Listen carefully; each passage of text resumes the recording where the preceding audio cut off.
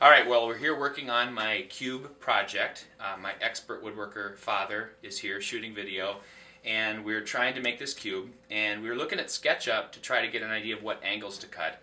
And we thought it was going to be a really complex, you know, compound miter cut.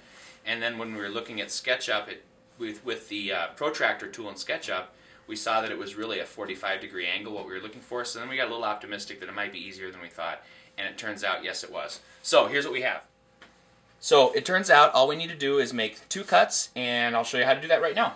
So we've got the fence here, so I don't have to do any measuring. Everyone comes out just perfect. So here's the first one.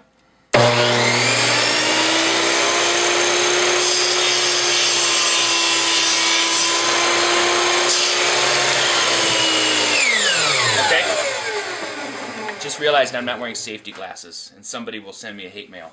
That's okay. So we just cut this one. We're going to flip it 90 degrees. Cut it again. Okay,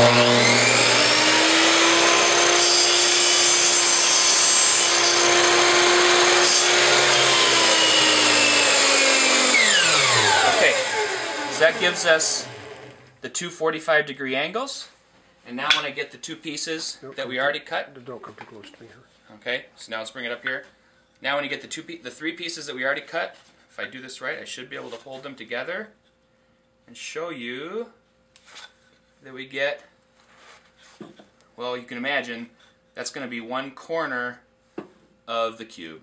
So pretty easy actually. All right, that's it for now.